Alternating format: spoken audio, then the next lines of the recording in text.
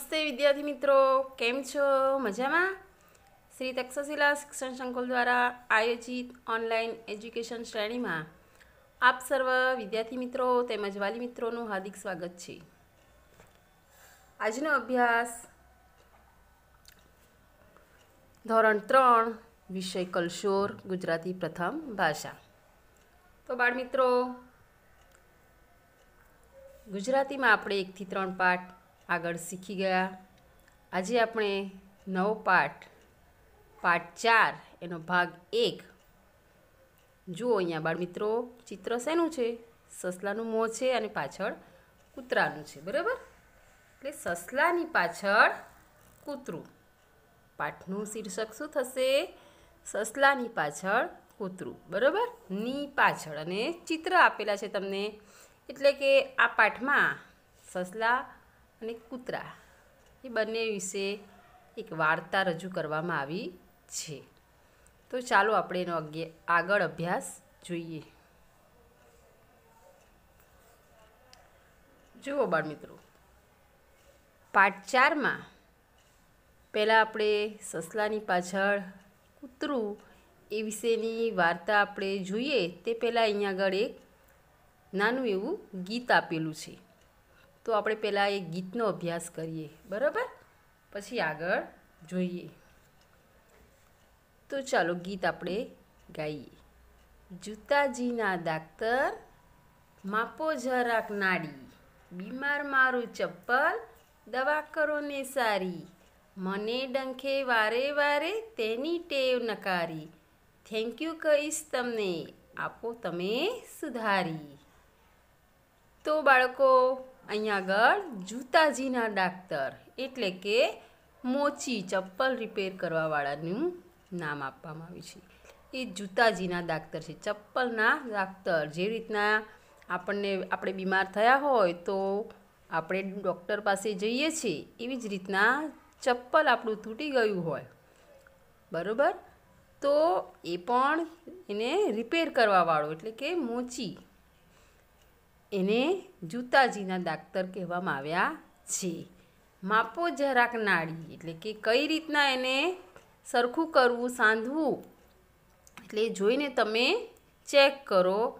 બીમાર મારું ચપ્પલ, દવા કરો ને સારી. શું કહે છે? બીમાર મારું ચપ્પલ એને સારી એવી દવા કરો, જેથી એ મને નડે નહીં. મને ડંખે વારે વારે. તેની ટેવ નકારી. અહીંયા આગળ જો ચપ્પલ તૂટી ગયું હોય તો તેને રિપેર પણ કરવામાં આવે, મોચીની જરૂર પડે છે. અથવા તો આપણે કોઈ નવું ચપ્પલ લીધું હોય, કોઈ બૂટ, સેન્ડલ લીધા હોય, તો એ નવું હોય, તો એને નડે છે આપણા પગમાં ડંખે છે. બરાબર? એનું ચામડાનું હોય કે કોઈ પ્લાસ્ટિકનું એવું, રબરનું એવું હોય, તો એ ચપ્પલ આપણને નડે છે, ડંખે છે. તો કે છે, એ ચંપલ મને વારે વારે ડંખે છે, એની ટેવ સારી નથી, નકારી એટલે નથી સારી. થેન્ક યુ કહીશ તમને આપો તમે સુધારી. જો મારું ચપ્પલ તમે સરખું કરી આપશો, તો હું તમને થેન્ક યુ એટલે કે તમારો આભાર માનીશ. સુધારી આપશો ત્યારે, બરાબર? તો બાળમિત્રો, અહીંયા આગળ ચંપલ વિશેની આપણને એક ગીત, એક કાવ્ય સમજાવવામાં આવ્યું છે. ત્યારબાદ આપણે જોઈએ આગળ એક જૂથ કાર્ય આપ્યું છે. શું છે? જૂથ કાર્ય. તો એ જૂથ કાર્ય શેના વિશેનું છે? જુઓ. અહીંયા આગળ જૂથ કાર્ય. તો તમને ચોરસ, લંબચોરસ જેવા આકારો દેખાય છે, બરાબર? તો એ શું છે? ખબર છે? પાઠ્યપુસ્તક છે. તો આપણે નીચેની ડિઝાઇન જુઓ અને અલગ અલગ ડિઝાઇન બનાવો. તમને ગમતી સૌથી સરસ સરખી ડિઝાઇન રાખી મૂકો. વર્ગમાં ફરીને બધા જૂથની ડિઝાઇન જુઓ. બીજા જૂથે બનાવેલી એક ડિઝાઇન ફરીથી બનાવો. શું કહે છે? એમાં આપણને જૂથ કાર્ય કેવી રીતના કરવાનું કહે છે? તો કહે છે, નીચે તમે ડિઝાઇન જુઓ અને અલગ અલગ ડિઝાઇન બનાવવાની છે. અહીંયા આગળ ચોપડીની ડિઝાઇન આપી છે. તે ચોપડીની ડિઝાઇન પરથી તમે અલગ અલગ આકારો અથવા ડિઝાઇનો બનાવો અને તમને ગમતી સૌથી સારી ડિઝાઇન રાખી મૂકો. વર્કમાં ફરીને બધા જૂથની ડિઝાઇન જુઓ. બીજા જૂથે બનાવેલી કોઈ એક ડિઝાઇન ફરીથી બનાવો. એક જ વર્ગમાં અલગ અલગ જૂથ પાડીને પાંચ વિદ્યાર્થીઓનું, દસ વિદ્યાર્થીઓનું એમ જૂથ, સમૂહ બનાવીને એ લોકો કઈ કઈ એક ચોપડીમાંથી ડિઝાઇન અથવા આકાર તૈયાર કરે છે એમ બધાએ જૂથ બનાવીને આકાર તૈયાર કરવાના છે, બરાબર? તો ત્યાર પછી એમાંથી બીજી એક સૌથી સારી ડિઝાઇનને એક બાજુ મૂકી રાખો અને વર્ગમાં ફરી બધાની ડિઝાઇન ચેક કરો અને એમની જો કોઈ ડિઝાઇન સારી હોય તો તમે પણ એવી બનાવી શકો છો. તો જુઓ અહીંયા આગળ તમને નીચે ડિઝાઇનો આપેલી છે, એના આકારો આપેલા છે. બરાબર? તો પહેલી ડિઝાઇનમાં જુઓ. હા, આ ડિઝાઇન. બરાબર? અહીંયા આગળ ડિઝાઇન જુઓ. શું છે? ડિઝાઇનમાં બે પુસ્તકને મૂકેલા છે. બરાબર? એનો ત્રિકોણ આકાર આવે છે. કેવો આવે છે? એક પુસ્તક આમ મૂક્યું ને એક આમ મૂક્યું. બરાબર? એટલે કયો આકાર બન્યો? ત્રિકોણ આકાર. બરાબર?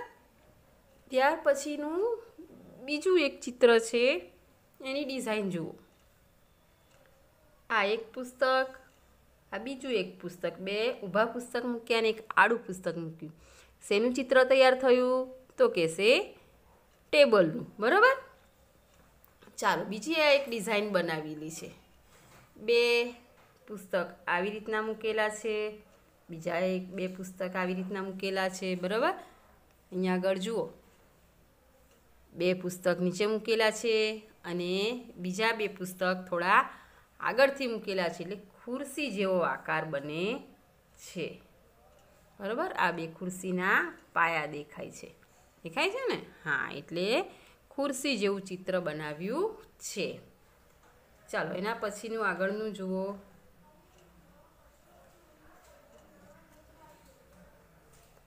હા, આ એક સરસ મજાનું ફૂલ હોય તેવું ચિત્ર લાગે છે. બરાબર? જો, અહીંયા આગળ કેટલા પાઠ્યપુસ્તક ગોઠવેલા છે તો કહેશે એક, બે, ત્રણ, ચાર, પાંચ અને છ.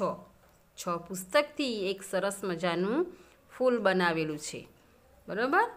હા, આ ચિત્ર તો મોટાભાગના બધા જ બાળકોને ગમતા પણ હોય છે અને બનાવેલા પણ હશે. બરાબર? તમારી પાસે પાઠ્યપુસ્તક હોય, તમે ક્લાસમાં પણ ક્યારેક આવું કર્યું હશે. બરાબર? આ છે તમારું પાઠ્યપુસ્તક. તો આ વચ્ચેની ડિઝાઇન છે, એને શું કર્યું છે? તમારા જે પાઠ્યપુસ્તક હોય, તેને ખુલ્લું કરી નાખો. અને જે પેજ આવતા હોય, બરાબર? પાઠ્યપુસ્તકના અંદરના પેજ હોય, એ પેજને ગોળ ગોળ એક આ બાજુવાળો પછી આ બાજુવાળો આમવાળો આમવાળો એટલે સરસ મજાનું ફૂલ જેવું ચિત્ર તૈયાર થાય છે. બરાબર? આમાં ઘણી બધી પાખડીઓ છે. એના પછીના બાજુના ચિત્રમાં પણ એ જ રીતનું કરેલું છે. એમાં ફક્ત બે પાના જ વાળેલા છે. બરાબર? ત્યાર પછી આ નીચેના ચિત્રમાં જુઓ. આમાં પણ વચ્ચે આ એક પાનું વાળેલું છે, બરાબર? તમને ચિત્ર શેનું દેખાય છે? વિમાનનું દેખાય છે. દેખાય છે ને? હા. અને આ જે છે, એને ત્રિકોણ આકારમાં વાળેલું છે. એટલે વિમાનની પાંખ બની ગઈ હોય તેવું ચિત્ર દેખાય છે. બરાબર? અહીંયા આગળથી થોડુંક આ બાજુથી વાળવાનું, થોડું આ બાજુથી વાળો. બરાબર? એટલે ત્રિકોણ આકાર તૈયાર થઈ જશે. હા. એના પછીનું આ ચિત્ર એ પણ પાનાને ગોળ વાળીને જ બનાવ્યા છે. પણ એ વાળવામાં શું કર્યું છે? આને થોડાક વધારે ગોળ ગોળ વાળો એટલે થોડોક નાનો આકાર ગોળાકારમાં થાય. અને આને આ બા, આ બાજુનું છે એ થોડુંક વધારે ખુલ્લી જગ્યા રાખી છે. થોડુંક ઓછું વાળેલું છે. બરાબર? એટલે આ પણ એક અલગ પ્રકારની ડિઝાઇન અહીંયા આગળ ફૂલ જેવું નીચેની તરફ થશે તૈયાર. તો બાળકો, આ બધી થઈ પાઠ્યપુસ્તકની અલગ અલગ ડિઝાઇન જો તમને પાઠ્યપુસ્તકથી બીજી કોઈ ડિઝાઇન બનાવતા આવડે, તો પણ તમે બનાવી શકો છો, બરાબર? હા, ચાલો, એના પછી આપણે આગળનું જોઈએ તો એમાં વાતચીત તમારા પાઠ્યપુસ્તકના પાન નંબર એકાવન ઉપર આપેલી છે. તો એ પાઠ્યપુસ્તક વિશેના થોડા પ્રશ્નો છે મેં અહીંયા આગળ તૈયાર કરેલા છે. તમારે જોવાના છે અને તમારી ગુજરાતીની નોટમાં પણ લખવાના છે. તો ચાલો આપણે જોઈએ પ્રશ્નોના જવાબ સમજૂતી સાથે. તમારા પુસ્તકનો આકાર કેવો છે? તો તમારા પુસ્તકનો આકાર લંબચોરસ છે. બરાબર? એનો જવાબ શું થાય? કે અમારા પુસ્તકનો આકાર લંબચોરસ છે. એના પછીનું બીજા નંબરનો પ્રશ્ન. પુસ્તકો વડે શું શું બનાવી શકાય? તો પુસ્તકો વડે આપણે હમણાં આગળમાં, આગળના સામેના પેજમાં જોયું કે પુસ્તકો વડે અલગ અલગ આકાર, ટેબલ, ખુરશી અથવા તો પાના વડે ડિઝાઇન પણ બનાવી શકાય છે, બરાબર? કોઈ ફૂલનું બનાવે, કોઈ રોકેટ બનાવે, કોઈ વિમાન બનાવે, એ રીતના અલગ અલગ પુસ્તકથી ડિઝાઇનો પણ બનાવી શકાય છે. તમે આના સિવાય તમારો પ્રશ્નનો બીજો કોઈ જવાબ હોય તો પણ તમે લખી શકો છો. જો તમે પુસ્તકથી બીજી કોઈ ડિઝાઇન કે આકાર બનાવેલો હોય તો પણ તમે એનો જવાબ લખી શકો છો. ત્યાર પછી ત્રીજા નંબરનો છે સવાલ, તમારા જૂથે પુસ્તકોમાંથી શું બનાવ્યું અને કેવી રીતે બનાવ્યું? તમારે જે જૂથ બનાવ્યા હતા ચાર પાંચ ચાર પાંચ વિદ્યાર્થીઓના, તો તમારા જૂથે શું બનાવ્યું હતું તો આપણે એનો જવાબ જોઈશું. એ અમારા જૂથે પુસ્તકોમાંથી સરસ ઘર બનાવ્યું. ચાર પાંચ પુસ્તકો ભેગા કરીને એનો ઉપયોગ કરીને તેને એકબીજા સાથે જોડીને ઘરનું ચિત્ર બનાવ્યું. બરાબર? તો તમારી પાસે પાઠ્યપુસ્તક હોય, અમુક પુસ્તકો કેવા આવે છે? જાડા પૂઠાના એટલે તે ઊભા રહી શકે છે. બરાબર? મારે મોટું ઘર બનાવવું હોય તો બેથી ત્રણ પુસ્તકો વધારે લેવાના, બે પુસ્તક ઊભા મૂકવાના, પછી એક નીચે આડું રાખવાનું, એની ઉપર એક બનાવવાનું, પછી બીજી નાની નાની ચોપડીઓ હોય એમાંથી ઘરનો દરવાજો, બરાબર? આ રીતનું પુસ્તકનું ઘર પણ તૈયાર થઈ શકે છે. જો આના સિવાય બીજો કોઈ તમને ચિત્ર આવડતું હોય, બરાબર? તો પણ તમે બનાવી શકો છો. તમારી પાસે ફ્રી ટાઈમ હોય તો તમે આ રીતના પુસ્તકની મદદથી કોઈ પણ સારું ચિત્ર બનાવી શકો છો. ચાલો, હવે આપણે આગળ જોઈએ. તો આ પ્રશ્નોના જવાબ છે, તમારી નોટબુકમાં સારા અક્ષરે તમારે લખી દેવાના છે. બરાબર? ચાલો, હવે આગળનું જોઈએ આપણે.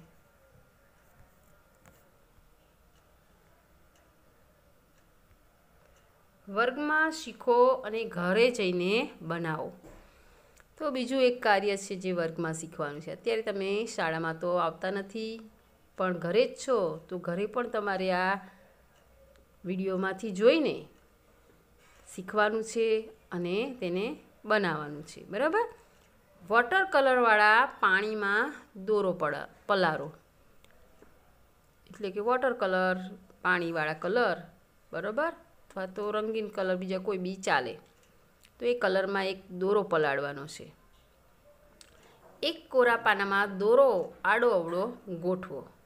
દોરાનો એક છેડો બહાર રાખી પાનાને વચ્ચેથી અડધું વાળી દઉં કાગળ પર થોડો ભાર દઈને હાથ રાખો અને પછી દોરાનો બહાર રાખેલો છેડો ધીમે ધીમે ખેંચી, આખો દોરો ખેંચી લો. જે ડિઝાઇન બની તેમાં તમને શું દેખાય છે તે સૌને કહો. બરાબર? આ પ્રવૃત્તિ ઘરે કરવી હોય તો કરવાની. એક દોરો લઈ લેવાનો વોટર કલર ના હોય તો સ્કેચ પેનની મદદથી પણ તમે એ દોરાને રંગીન બનાવી શકો છો.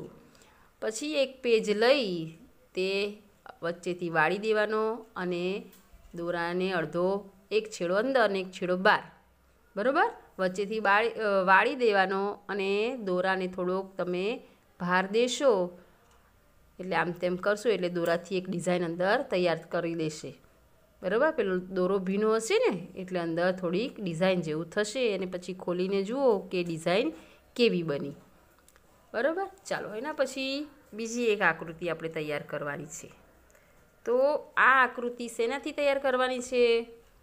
તો આકૃતિ દિવાસળીથી તૈયાર કરવાની છે. શાળામાં તમે આવતા હો તો દીવાસળીઓ લાભ મંગાવીને તમને આ પ્રવૃત્તિ કરાવી શકે.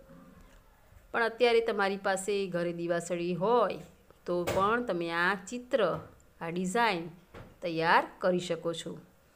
તો અહીંયા આગળ જો, દીવાસળીની મદદથી ત્રિકોણ જેવો આકાર બનાવેલો છે અને એક ડિઝાઇન તૈયાર કરેલી છે, બરાબર? તો અહીંયા આગળ જોઈ લો એ ડિઝાઇન અને એનું ચિત્ર.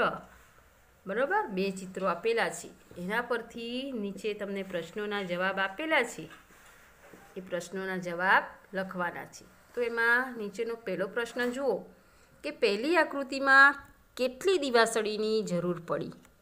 તો ચાલો આપણે પહેલી આકૃતિમાં દિવાસળીઓ ગણીએ. દિવાસળીઓ કેવી રીતના ગણવાની છે? તમને આ ગોળ દેખાય છે ને? ત્યાંથી તમે ગણતરી શરૂ કરશો એટલે ગણતરીમાં ભૂલ આવશે. નહીં, બરાબર? જો તમે ત્રિકોણ ગણશો, તો તમને દિવાસળીની સાચી સંખ્યા મળશે નહીં.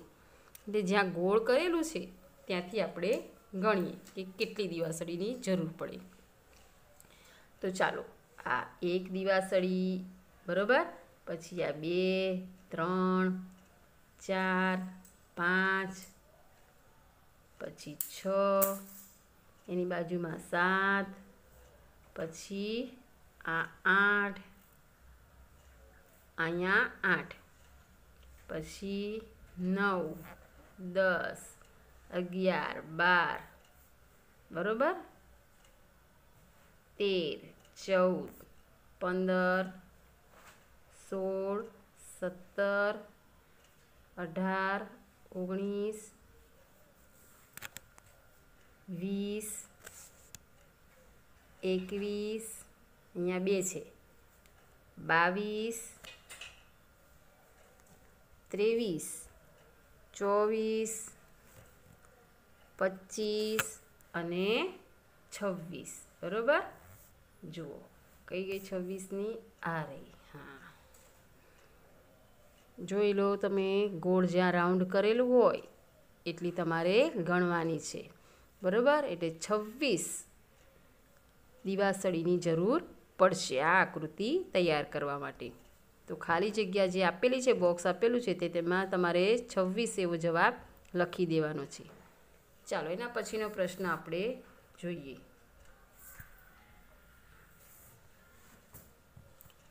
પહેલી આકૃતિમાં કેટલા ત્રિકોણ બનેલા છે? તો કહેશે ચૌદ. તો ચાલો, આપણે જોઈએ કે ચૌદ ત્રિકોણ કેવી રીતના બનેલા છે. બરાબર? બધામાં નંબર આપતું જવાનું એટલે આપણે ગણતરીમાં ભૂલ પડશે નહીં.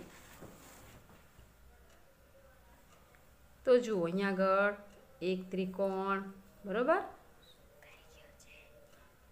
એક ત્રિકોણ, પછી આ બીજું, આ ત્રીજું, ચોથું, પાંચમું, છઠ્ઠું, સાતમું અને આઠમું.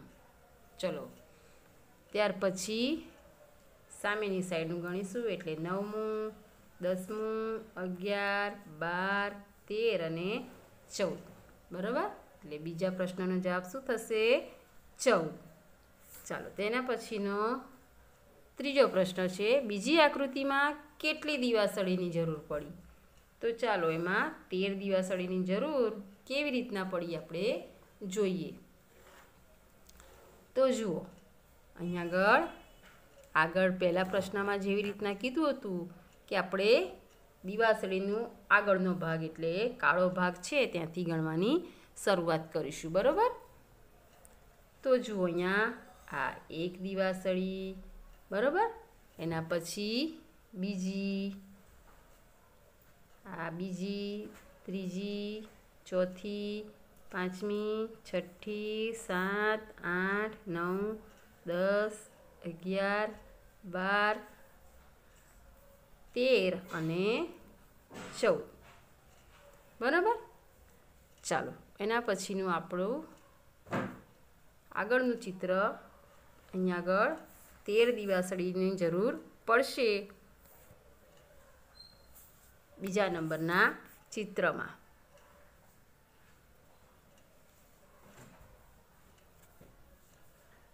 ચાલો, આગળનું જોઈએ.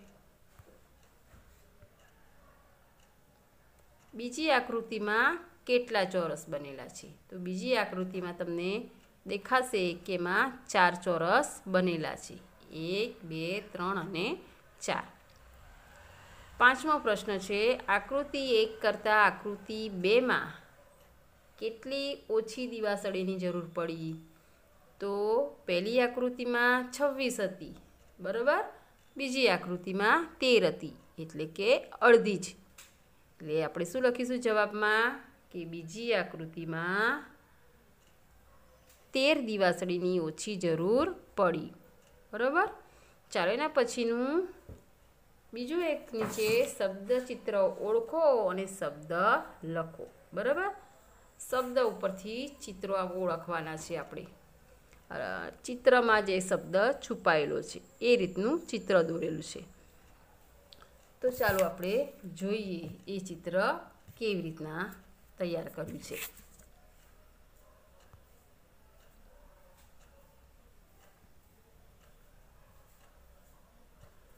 જો અહીંયા આગળ પહેલું ચિત્ર છે. ફૂલનું ચિત્ર છે. બરાબર? નીચે પાંદડા દેખાય છે. તો આ કયા ફૂલનું છે? અહીંયા આગળ તમને ચિત્રમાં બ દેખાય છે. આ રહ્યો બ અને એનો કાનો બા બા ર મા સી બરાબર? શેનું ચિત્ર છે? બારમાસીનું. એટલે નીચે તમારે જગ્યા આપી છે, એક નંબર કરી, એમાં બારમાસી એવું લખવાનું છે.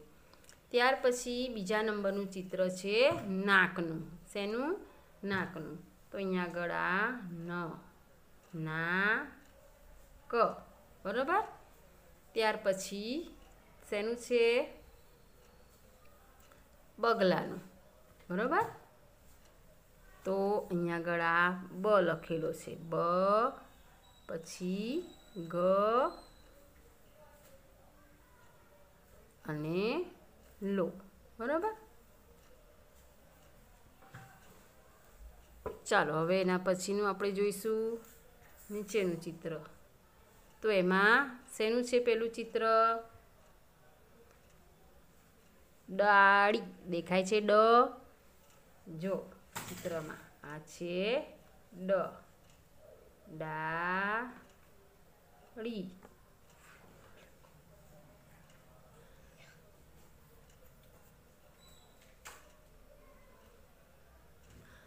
ચાલો, એના પછીનું જોઈએ ચિત્ર. આંખનું છે. બરાબર? શેનું છે? આંખનું. તો આ આંખ. ને આ ખ બનાવ્યો છે એનો. ત્યાર પછીનું જોઈએ ચિત્ર. નીચે જુઓ. ટીફ, આ વૃક્ષનું છે એટલે કે ઝાડ લખેલું છે. બરાબર? શેનું છે? ઝાડ. અહીંયા આગળ આ જ. ઝા ડ. ત્યાર પછીનું ધજા. જ દેખાય છે ને? હા, આ ધ. ને જા. પછી દડાનો દ. લો. અને એના પછીનું ચિત્ર શેનું છે? જો. આ છે ટિફિન. બરાબર? અહીંયા આગળ આ ટ છે. ટી. ફી અને નીચે ન.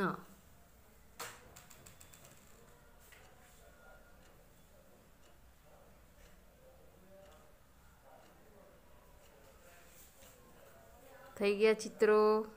તો નીચે બોક્સ આપેલા છે. એમાં નંબર પ્રમાણે તમારે નામ લખી દેવાના છે. પહેલું ચિત્ર બારમાસીનું પછી નાક, ત્રીજું બગલો ચોથું ડાળી, પાંચમું આંખ, પછી ઝાડ, સાતમા નંબરમાં ધજા, આઠમા નંબરમાં દડો, નવમા નંબરમાં ટિફિન.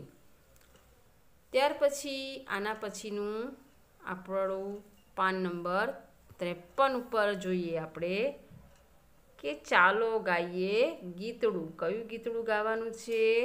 જૂતાજીના દાક્તર બરાબર? આપણે કાવ્ય શરૂ કર્યું હતું ને, પાઠ શરૂ કરતા આપણે તો જૂતાજીના દાખતર માપો જરા નાડી એ કવિતા છે, એ ગીત છે, એ તમારે એકવાર ફરીથી ગાઈ લેવાનું. બરાબર?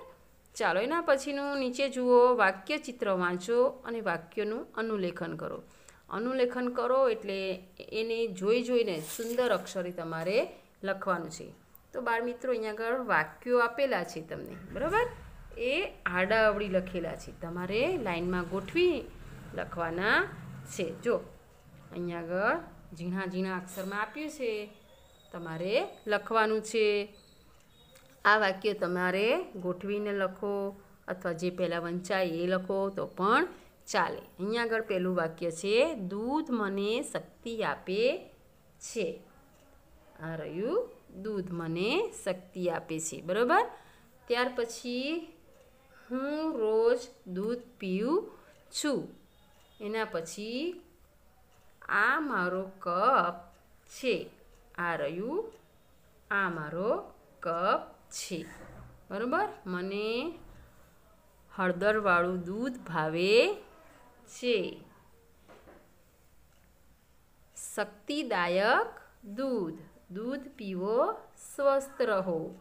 બરાબર? આ બધા વાક્યો જે આડાવડી આપેલા છે, તમારે ગોઠવી અને આ બોક્સની અંદર લખવાના છે, બરાબર? ચાલો આપણે ફરીથી એકવાર વાક્યો જોઈ લઈએ.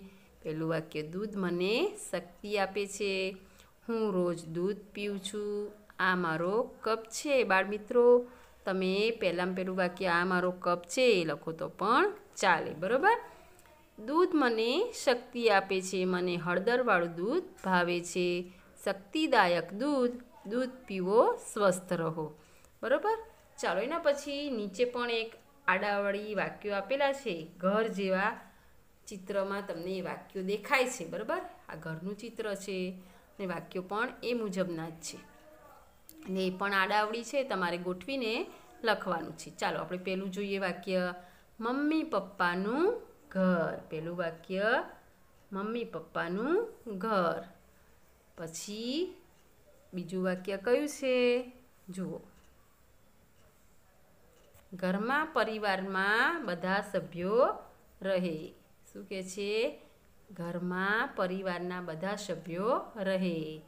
નાના મોટા સૌ બધાનું ઘર. બરાબર? આ રહ્યું ત્રીજું વાક્ય.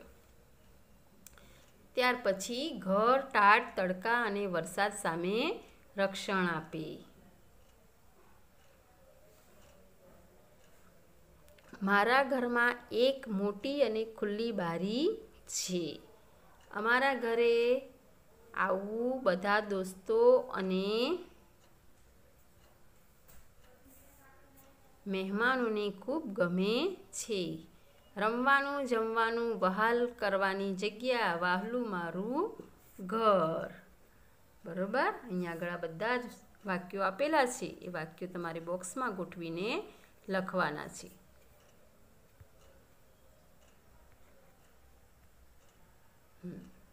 બરાબર? તો મમ્મી પપ્પાનું ઘર, ઘરમાં પરિવારના બધા સભ્યો રહે, નાના મોટા સૌ બધાનું ઘર. ઘર તાજ તડકા અને વરસાદ સામે રક્ષણ આપે. મારા ઘરમાં એક મોટી અને ખુલ્લી બારી છે. અમારા ઘરે આવવું બધા દોસ્ત અને મહેમાનોને ખૂબ ગમે છે. રમવા જમવાનું, વહાલ કરવાની જગ્યા, વહાલું મારું ઘર. બરાબર? દેખાય છે ને બારી? હા, જો બારીનું આ રહ્યું ચિત્ર. અરે, વાક્ય. અને એનું ચિત્ર.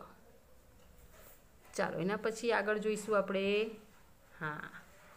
ખોટા શબ્દ પર ચોરસ કરો. ચાલો, આમાં ખોટો શબ્દ આપ્યો છે ને એક સાચો શબ્દ આપેલો છે, બરાબર? એના પર આપણે સાચું ખોટ જે ખોટું હોય, એના પર ચેકો મારવાનો છે. જ્યોર્જ, બે શબ્દ છે, કાળગ અને કાગળ. વડે રંગબેરંગી વિમાન બનાવે તો કા અળ ગ એના પર છેકો મારવાનો છે. કાળગ ના હોય, કાગળ હોય, બરાબર? ચાલો, એના પછી જુઓ. બીજા નંબરનું. દાદા રકાબીમાં અથવા તો ર બાકીમાં કોફી પીવે તો ર બાકી એમાં પર ચેકો માર્યો. ત્રીજા નંબરનું પેન્સિલથી અથવા તો પેસિલનલથી પેન્સિલથી અથવા પેન્સિલથી લખેલું ભૂસી શકાય તો બીજા નંબરનું જે છે પેન્સિલનલથી એના ઉપર ચેકો મારવાનો છે. મેઘાએ લાલ રંગના અથવા તો રગના, બરાબર? ફુગ્ગા ફૂલાવ્યા તો આ રગના છે, એના ઉપર ચેકો મારવાનો છે ખોટો શબ્દ છે. પાંચમા નંબરનું અગજર, અને અજગર. તો એમાંથી કયું સાચું થયું? અજગર. અજગર ઝાડને વીંટળાઈ ગયો. તો આપેલું જે છે, અગજર, એના ઉપર ચેકો મારો. છઠ્ઠા નંબરનું, વાળ કાપવા વાળંદ અથવા તો વાણંદ. તો શું સાચું આવે? વાળંદ. તો ખોટા ઉપર ચેકો મારી દેવાનો. જવું પડે. સાતમા નંબરનું, ફિરદોસ નમૂના પ્રમાણે અથવા અથવા તો પ્રણામે બે આપેલા છે. બરાબર? કાગળનો પંખો બનાવે બ વાને આમાં બે જાતના આપેલા છે. એટલે પહેલાં પ્રણામે પ્રણામે. એના પર ચેકો અને બ વાને બરાબર? એના ઉપર ચેકો મારવાનો છે. આઠમા નંબરનું છવાસો છવાસ. છવાસો છવાસ કહેવાય શ્વાસો શ્વાસ કહેવાય? શ્વાસો શ્વાસ. એટલે છવાસો છવાસ પર ચેકો બોલવામાં તકલીફ અને તફલીક. તો આમાં તફલીક ઉપર ચેકો. સાચું વાક્ય થશે, શ્વાસોશ્વાસ બોલવામાં તકલીફ પડે છે. બરાબર? નવમા નંબરનું, અહીં અલગ અગલ રંગના કાગળ ટુકડા ચોડાટો. કે ચોટાડો તો ચોડાટો અને અગલ. બરાબર? આ બે ખોટા શબ્દો છે, એની પર ચેકો મારવાનો છે. દસમા નંબરનું જબેલી કે જલેબી? તો જલેબી સાચું ને જબેલી, એના પર ચેકો મારો. સાથે ફાફડા અથવા તો ફાડફા. તો ફાડફા હોય કે ફાફડા હોય? ફાફડા હોય, એટલે ફાડફા ઉપર ચેકો મારવાનો છે. ખવાય જલેબી સાથે ફાફડા ખવાય. અગિયારમા નંબરનું મેં ગરમા ગરમ અથવા તો ગરમા ગમર બે છે. દૂધ કે દધું, દૂધ પીધું, દધું ઉપર ચેકો અને ગરમા ગમર એના ઉપર, બરાબર? ચેકો મારો. તો આ થઈ ગયા આપણા ખોટા શબ્દો, ઉપર ચેકો મારવાનું. હવે આગળ આવે છે. જુઓ, શીખો અને બનાવો. બરાબર બાળમિત્રો આ તો તમારા હાથનો પ્રયોગ છે.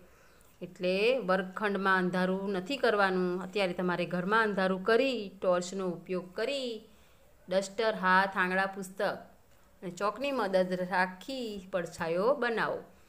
અહીં એટલે અહીંયા હાથનો ઉપયોગ કરી જો બધા મોઢા બતાવેલા છે ને? હા, આ બધા મોઢા તમારે અંધારું કરો અને હાથનો એ કરો અને ટોર્ચ બરાબર? ટોર્ચ મારીએ એટલે તમને એ ચિત્ર દેખાય. ચાલો, અત્યારે એ આંગળાનું જાદુ ઘરે બેઠા કરવાનું છે. એના પછી આગળનો એક આંગળાનો જાદુ છે કે આંગળાનો જાદુ મારા આંગળાનો જાદુ.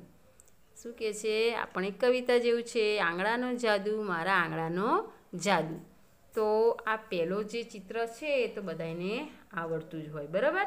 કે અહીંયા આગળ આપણી કયા નંબરની આંગળી? એક અંગૂઠો અને આ ત્રીજા અને ચોથા નંબરની આંગળીને વાળી અને બે શિંગડા બનાવેલા છે. બરાબર? કોઈ પણ પ્રાણીના બે શિંગડા બનાવેલા છે. એટલે આ થઈ ગયો આપણો આંગળાનો જાદુ. બરાબર? કાન ઊંચા કરેલા છે ને? હા.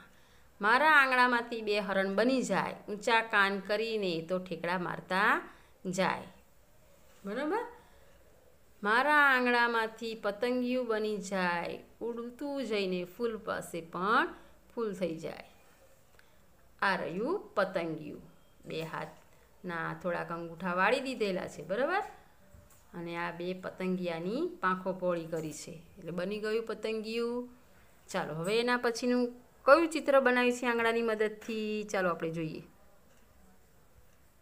હા, શું બનાવ્યું છે?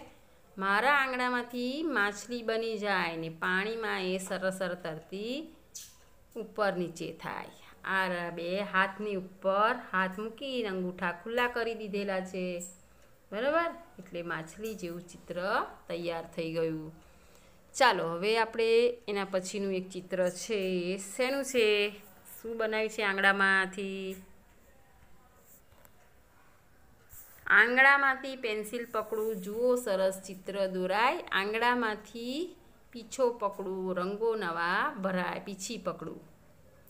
જો એક હાથમાં પેન્સિલ પકડી છે ને એક હાથમાં પીછી પકડી છે. બરાબર? અને કેવી રીતના પકડી છે? તો આપણે જે લખીએ પહેલી પહેલી આંગળીને અંગૂઠાની મદદ લે છે ને, એમ નથી કરી. આડી અવળી આંગળીઓ લીધી છે. અને એના પરથી ચિત્ર આડાવડી દોરી અને ચિત્ર તૈયાર કર્યું છે. ક્યારેક મારી આંગળી આ તોફાની થઈ જાય, કાનમાં જાય, ખણખણ કરતી આવું ન કરાય, બરાબર? કાનમાં ખંજવાળ આવતી હોય તો એ આંગળી જઈને અથવા તો કાનમાં પાણી ગયું હોય તો પણ આપણે આંગળી નાખીને અવાજ કરીએ છીએ. ચાલો, આ થઈ ગયો આપણો આંગળાનો જાદુ. એના પછી પાછળ એક આવે છે બીજું. જુઓ, કહો. તમને આંગળાનો કયો જાદુ સૌથી વધુ ગમ્યો? ફરીથી કરી જુઓ.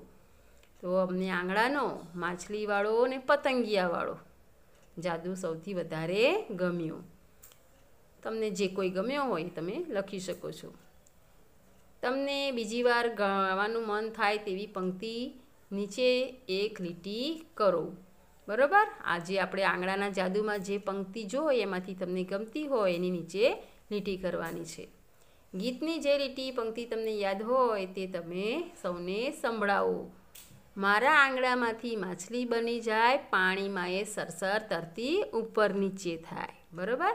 આ થઈ ગીતની પંક્તિ, એક તમને યાદ હોય અથવા તમે બીજી કોઈ પણ યાદ હોય એ લખી શકો છો. ચોથા નંબરનો સવાલ આંગળાની મદદથી તમે બીજા કયા કયા કામ કરી શકો છો? તો આંગળાની મદદથી તમે બીજું કયું કામ કરી શકો છો? દોરી શકો છો, વિમાન બનાવી શકાય છે, બરાબર? બે હાથ ભેગા કરીને પછી પોલીસવાળી ગેમ પણ રમતા હોય છે, બધું રમી શકો છો. ચાલો, હવે એના પછી આંગળાની મદદથી જે કામ ન થાય તેની પર ચોકડી કરો. લખવું તો આંગળાની મદદથી, બરાબર? એટલે અહીંયા આગળ આપણે ચોકડી કરવાની છે. જે કામ ના થતા હોય તેની ઉપર. રડવાનું કામ થાય આંગળાથી, ના થાય એટલે આપણે એની ઉપર ચોકડી કરી દઈશું આંગળામાં. ટીંગાડવું તો એમાં આંગળાની જરૂર પડે. દોરવું તો એમાં પણ જરૂર જરૂર પડે. ફૂલ ચૂંટવા એમાં પણ આંગળાની જરૂર પડે. ગાવું તો ગાવામાં આંગળાની જરૂર પડે નહીં. જમવું તો એમાં આંગળાની જરૂર પડે. હાથમાં આવે ને? હસવું તો હસવામાં ના પડે. બરાબર? પીવું. તો એમાં પણ આંગળાની જરૂર પડે ને? હા. બરાબર? ગ્લાસ પકડવા માટે આંગળાની જરૂર પડે. પછી જોવું. તો જોવા માટે આંગળાની જરૂર ન પડે. પકડવા માટે આંગળાની જરૂર પડે. ચપટી વગાડવા પડે, ચોંટાડવા માટે પડે, તાલી પાડવા માટે પડે અને ચીંધવા માટે. કોઈની સામે આંગળી કે આ વ્યક્તિએ કર્યું, કરવા માટે આપણે આંગળાની જરૂર પડે છે. બરાબર? આ થઈ ગયા આંગળાની, આંગળાથી કામ ન થાય તેવા શબ્દો અથવા તો કામ. એના પછી આપણે આગળનું જોઈએ કે શબ્દોને યોગ્ય ક્રમમાં ગોઠવી અર્થપૂર્ણ વાક્ય બનાવો.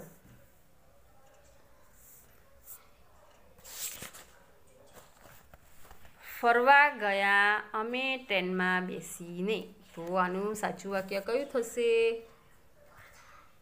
અમે ટ્રેનમાં બેસીને ફરવા ગયા, બરાબર?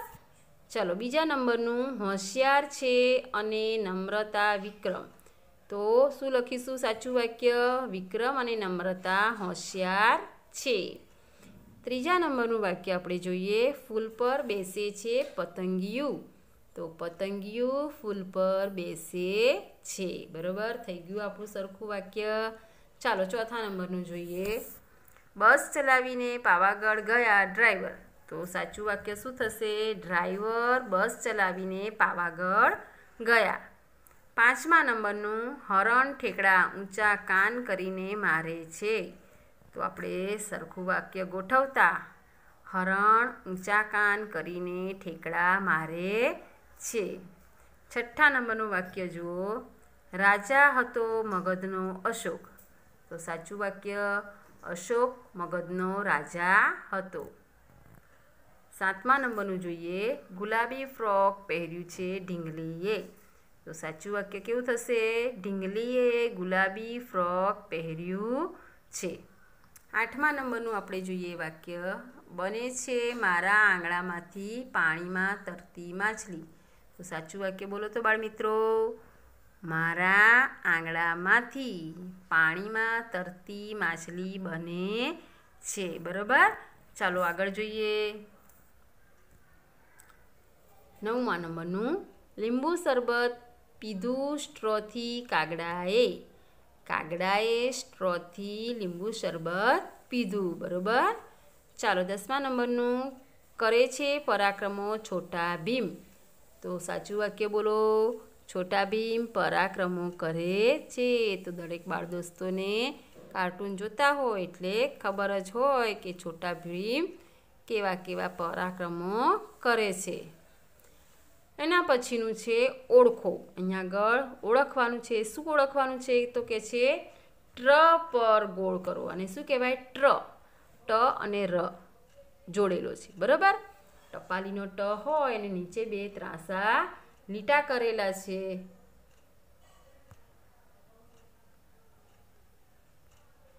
તો એના ઉપર ગોળ કરવાનું છે. જુઓ. અહીંયા આગળ આ ટ કરેલો છે. એની પર બે આમ ત્રાસા લીટા આવે એની નીચે. એટલે ટ્ર બની જાય. તો પહેલું છે ટ્રેન. તો ટ્રેનમાં આપણે ટ્ર ઉપર ગોળ કરવાનું છે. પછી રાષ્ટ્ર. Train train. બરાબર? ઇલેક્ટ્રોનિક. તો આમાં ટ્ર ઉપર. પછી ડ્ર ઉપર ગોળ કરવાનું છે. તો ડ ને ર ભેગો કરીએ, એટલે કે ડની નીચે ત્રાસો લીટો એ ડ્ર. તો ડ્રેસ. બરાબર? ડ્રમ. એડ્રેસ. તો ડ્રે. ડ્રાઈવર. તો ડ્રા. ડ્રાઉન. ડ્રાઉન. તો ડ્રા ડ્રા ઉપર. બરાબર? ચલા એના પછી ક્ર ઉપર ગોળ કરવાનું છે. તો ક અને ર ભેગો કરતા ક્ર બને છે. તો ક્રમ ક્રિયા, વિક્રમ પરાક્રમ, આક્રંદ, બરાબર? તો આ બધામાં કહ ક્ર હોય, એના ઉપર ગોળ કરવાનું છે. બરાબર? થઈ ગયા? ક્ર ક્ર હા. પછી આવે છે મ્ર, સમ્રાટ, નમ્રતા. ધ્રુમ્ર શેર આમ્રપાલી, તામ્રપત્ર. તો આમાં બીજા નંબરમાં સમ્રાટ, આ સમ્રા નમ્રા ધુમ્ર, એમાં મ્ર, આમ્ર, મ્ર, બરાબર? આ બધા થઈ ગયા મ્ર ઉપર. એના પછી એનો મહાવરો કરવાનો આવે છે ટ્રનો. તો બાળમિત્રો, તમે આવા નાના ધોરણમાં પહેલાં બીજામાં હતા, ત્યારે જે કક્કો બારક્ષરીને આવતા હતા, મહાવરો કરવાનો. એવી રીતના તમારે આ ત્રીજામાં ટ્ર વાળો. તો અહીંયા આગળ તમને એક નંબર આપી દીધેલો છે, બરાબર? કે અહીંયા આગળથી ટ્ર. ચાલુ કરી, બે નંબર, ત્રણ અને ચાર. બરાબર? તો ટ્ર અને અહીંયા આગળ જે આપેલા છે, એ રીતનો તમારે મહાવરો કરવાનો છે. મેં આમાં બતાવી દીધેલું છે. તમારે તમારી ચોપડીમાં આ રીતનો મહાવરો પૂર્ણ કરવાનો છે. એના પછી ડ્રનો છે, તો ડ્રનો પણ તમારે એવી રીતના મહાવરો તૈયાર કરવાનો છે. અને પાઠ્યપુસ્તકમાં છે એ રીતના તમારે તમારી જાતે તૈયાર કરી દેવાનું લખીને. બરાબર? ચાલો, એના પછીનું આપણે આગળનો મહાવરો જોઈએ. ક્ર અને મ્રનો. તો એમાં પણ નમૂના પ્રમાણે તમારા પાઠ્યપુસ્તકમાં ક્ર અને મ્રનો નમૂનો હોમવર્ક તરીકે તમારે તૈયાર કરવાનો છે. બરાબર? જુઓ. હવે આપણે નીચે ચાલો ગાઈએ ગીતડું જૂતાજીના દાખતર ફરી એક વખત તૈયાર કરી લેવાનું, મોડે કરી લેવાનું અને આજના હોમવર્કમાં પાઠ્યપુસ્તકમાં જે રકારવાળા નીચે, બરાબર? ક ને ર જોડેલા હોય, મ ને ર જોડેલા હોય, એમાં જે મહાવરો કરવાનો આપ્યો છે એ હોમવર્ક કરવાનું અને આગળ જૂતાજીના પેલા નીચે જે પ્રશ્નોના જવાબ આપેલા હતા પાઠ્યપુસ્તકવાળા, એ પ્રશ્નોના જવાબ હોમવર્કમાં કરવાના છે. બરાબર? તો આપણે આજનો અભ્યાસ અહીંયા પૂર્ણ કરીએ. ભાગ બે સાથે આપણે ફરી મળીશું. બરાબર? ચાલો ત્યારે.